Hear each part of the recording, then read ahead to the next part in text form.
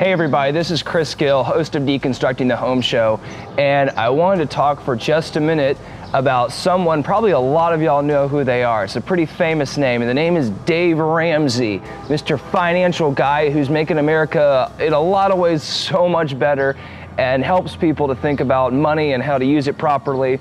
But there's one area and one thing he talks about that I frankly disagree with.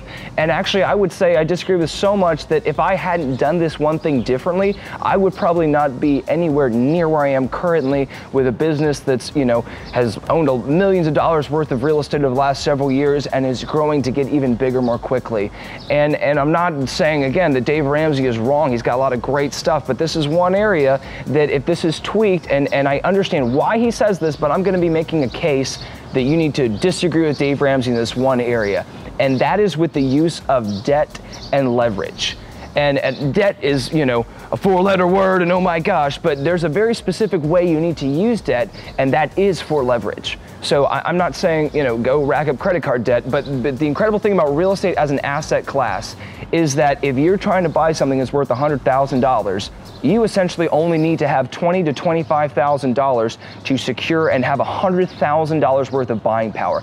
That is frankly unheard of. It's not like that in stocks. It's not like that in buying a business. It, you, you just, it, there's not this direct correlation to, between saying, hey, I can have this much money and I can control this much real estate and I can make money uh, as if I own that piece of real estate. So again, $250,000, that'll buy you a million dollars worth of real estate that could potentially cash flow 20, 30, 40,000 dollars a year. And so you will make your entire initial investment back in like three to four years. So that's like a 30 to 40% return on your money. That is insane.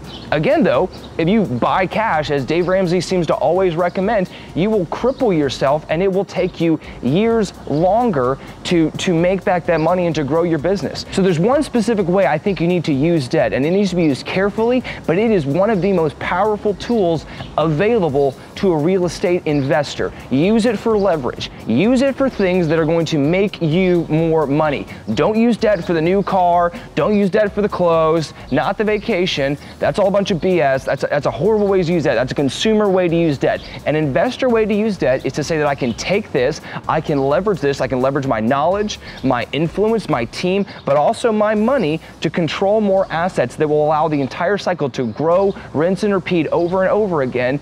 And so debt needs to be used carefully. So go in, do your due diligence. Take the time, understand what you're investing in, but then invest aggressively and see your business grow so much faster.